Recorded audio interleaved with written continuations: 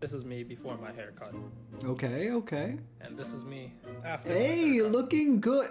I like it. I usually cut. What was that? Today we're reacting to more TikToks, and they're just getting worse. We're, we're not gonna gloss past that. What is that? That is terrifying. New video out today.